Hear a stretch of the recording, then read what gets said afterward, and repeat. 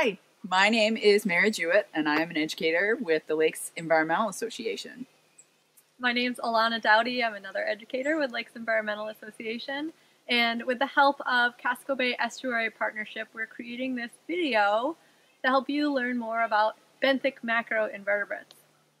We'd also like to introduce one of our helpers today, Olivia.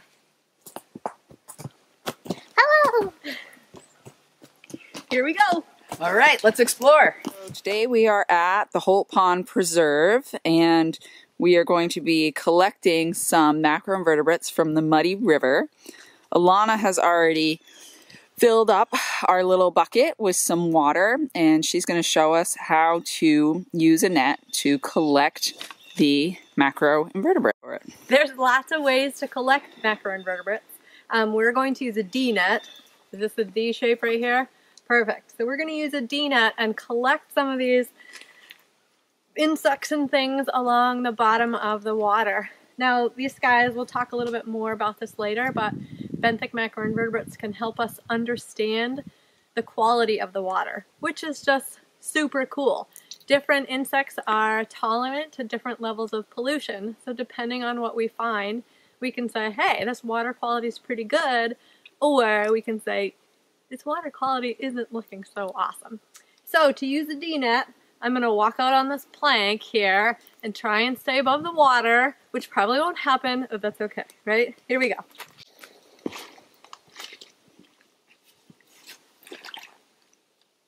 So she's mucking around on the bottom, trying to get some good muck. And she's gonna look for bugs in there. So Alana did her scoop, so now I'm going to uh, see what I can get out on the plank And also try not to fall in. Oh, this sinks. It's sinking. Glad I got my boots on. I'm going to try and go a little further out. We've got some nice vegetation in the water right now. So I try to kind of take out. Okay. There's something really cool in here. All right. Let's see what we've got. All right. Okay, so Mary has lots of stuff in her D-net here. Oh, you can see something squiggling around. Um, as these guys are out of the water, you will see more and more start to move around. And it's lots of debris, lots of leaves, as you can see. Let me get a better view over here. So she's going to scoop around with her spoon to see if she can see anybody moving. And if she does, she'll gently scoop them out with her spoon into the bigger tub of water. Once we've collected all the critters that we want, we'll start to put them into petri dishes. But first, here's Olivia.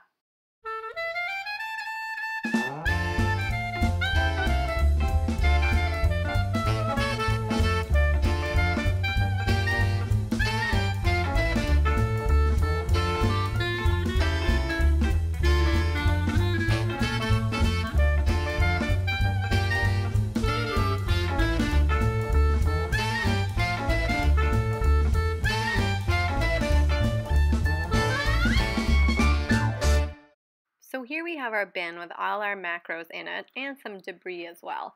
We're going to learn more about what's in here. We've pulled some out and put them in petri dishes.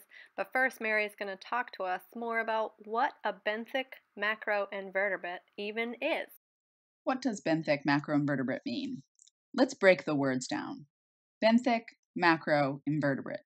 You probably have an idea of what a couple mean, but let's get some definitions down so you can have a better understanding of what we're studying. Benthic means bottom. This is the area at the bottom of bodies of water, like this photo of a lake bed. Benthic macroinvertebrates live around and under the rocks and soil in this area. The BMIs you have seen in this video live in a variety of freshwater sources, but they are all found at the bottom of the water. Macro means big, and big is not a very scientific word. I am big compared to a dragonfly nymph, but a dragonfly is big compared to bacteria, Macro really means that you can see the subject without any kind of magnifying glass or microscope. They are big enough that you can identify them with your naked eye. Invertebrate means no spine. BMIs do not have internal skeletons like humans and other vertebrates. Instead, they have exoskeletons, which is an external covering that keeps the body rigid and protects the animal. Some BMIs leave their exoskeleton behind when they change into their adult forms. Dragonflies are an example of a BMI that emerges from the water to transform to a flying insect. They bust out of the back of their exoskeleton and leave it behind, slowly unfolding their wings. There are dozens of dragonfly species in Maine, each emerging at different times of the summer. Dragonflies can stand a small amount of pollution and lower water quality, and they can be found in many different freshwater systems. Many people call these skinny dragonflies, but they are a totally different type of animal, the damselfly. I like to call them dragons and damsels, like we're in some fantasy novel. Anyway, in this photo, the damselfly has emerged from their exoskeleton and crawled to the lily pad next door. Look closely next summer and you will see that there are many different damselfly species flying around. They stop to rest more often than dragonflies, so they are easier to observe.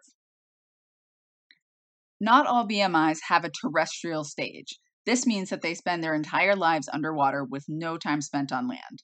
Sow bugs, snails, scuds, and our favorite bloodsucker, the leech, are all benthic macroinvertebrates, with the leech being the only one with no exoskeleton or shell to keep its shape rigid.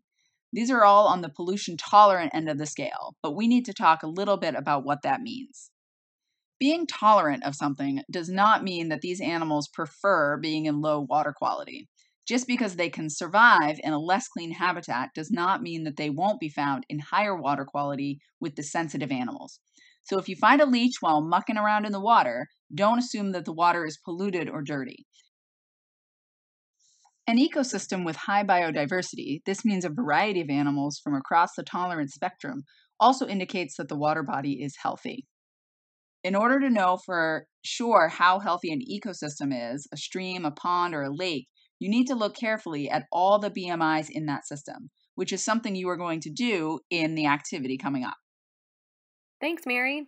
Before we do our own bioassessment, we're going to have to figure out how to identify some of these critters. So this is a caddisfly that we found, and we found a few different kinds. And these guys are so much fun because they build their own little cabin around their body with whatever they have available. It could be sand or twigs, hemlock needles. One time we found some that were made out of duckweed, so they were bright green and swimming around in the water. So cool! Caddisflies are pollution sensitive, so we're only going to find them in super clean water. And sometimes they're in their little cabins, and sometimes there are free swimming ones. And if you see the ones that are out free swimming around, they have a little C shaped caterpillar like body. You might be able to see that in their little cabin. You can kind of see that that thing has legs in there and a little head, but maybe, maybe not. Let's see these guys swimming around. So you can see on the bottom here, this one, and then just above him there's another sort of crawling around on him, and then just to the left there's a little teeny tiny one. So cool! Here's another friend who's also pollution sensitive, the mayfly. These guys are called mayflies because they hatch in May. And they have these incredible feathery gills that help move the water around them and bring oxygen into their body. They have a really distinguished head, thorax with six legs, and abdomen. And this video, you can see, oh, it's coming up, how their uh, gills are moving. He's like hanging out on this snail, pulling all that um, oxygenated water towards his body. See those huge tails? I mean, this thing is really neat looking. Here's another friend, also pollution sensitive, the stonefly, and we're going to find these guys in rocky places, all right? Lots of well oxygenated, cool water. This guy's also pollution sensitive, and that's why we find them in the best, highest water quality streams. Very clear head, thorax with six legs, and an abdomen, and check out those tails on there. Um, big antenna, and to me, these guys are like the incredible Hulk of the macroinvertebrate world. They even do push ups to move the water around their bodies to get oxygen in. And they have two tiny little claws you can see at the end of each leg. So some of these pictures, we didn't catch this guy today, um, obviously not in the petri dish. And these pictures are from the Maine Department of Environmental Protection and our friend Tom Danielson there. Here's one more pollution sensitive friend, the Dobson fly. And there are lots of other macroinvertebrates that are also pollution sensitive, but these are the ones we're focusing on here to get you all ready for the bioassessment. So the Dobson fly has a clear head, thorax in the middle with six legs, and I got Tom to send us the picture of it on its back so you can see those legs tucked in. And then this also has an abdomen with a series of filaments that look spiky. Those are to increase the surface area of the organism to be able to get more oxygen into its body. Are you noticing something here? All these pollution sensitive invertebrates that need high oxygen also have adaptations to be able to get oxygen to their bodies. Like the mayfly had the little feathery gills, and the stonefly does push ups, and the Dobson fly here has increased surface area on its body with these like alien filament things. So this also has the nickname of toe biter, and in South America and maybe even down south in America, these things can get pretty big. Here we don't have to worry about them too much, but they do have little pinchers on their head, so you know, just be careful if you're handling a Dobson fly. The other nickname of this is Hellgrammite, just to give you an example of how crazy these things are. Now we'll transition into some of our somewhat pollution sensitive macroinvertebrates. Mary talked a little bit about dragonflies already, and you can see the head looks like a dragonfly head, right? They don't have any tails, they do have six legs on their thorax and a big abdomen. They even suck in water into their abdomen for this jet propulsion. How amazing is that? Just like Mary said, dragons and damsels. So here's the damselfly, also somewhat pollution sensitive. A different body shape than the dragonfly we just saw, right? A really long abdomen, but the head is a similar shape. The thorax with six long, skinny legs again, and then those tails, which are pretty darn funky. That one's totally green, and then we have all different kinds, all from the same water body in this petri dish. So really quite a variety here but you want to see that long abdomen and those two or three tails for the damselfly. Here we start to get into some weird looking macroinvertebrates. So some more somewhat pollution sensitive guys. On the top we have the black fly larva. Everybody loves the black fly. And if you look, so on the right hand side of it, there's these little suction cup thingies at the base of its abdomen, and that allows the black fly larva to hold on to surfaces, different rocks or sticks or something, so they don't get washed downstream. On the bottom is the crane fly larva, and both of these guys really look caterpillary, wormy type bodies, right?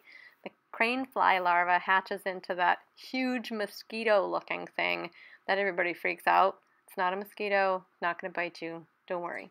Here's some scuds, also pollution, somewhat pollution sensitive. These are like little shrimp swimming around in the water. Finally, we'll end with some more pollution tolerant critters.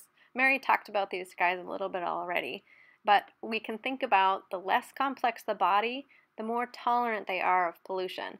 And remember, it doesn't mean that they need pollution, just means they can deal with it a little bit better than like the caddisfly. I'm feeling like you're in a pretty good place to start your bioassessment, so we're going to wrap things up. Well, that was awesome. Thanks so much for exploring with us today. I think we found some pretty cool stuff. So remember, uh, any freshwater uh, body of water is going to have some kind of macroinvertebrates in it. So anytime you go swimming or wading in a stream or canoeing on a river, there's going to be some of these animals right in the water with you. So uh, anywhere that you find fresh water, you can explore and find these bugs for yourself. You don't need a fancy D net like we had. You can use an ice cube tray or Tupperware or a little fish net, whatever. Just remember that these animals really like to stay in the water. So once you scoop them out, make sure you have a bigger tray to put them into and keep them safe. All right. We'll see you next time. Thanks so much for joining us. Bye. Bye. Oh.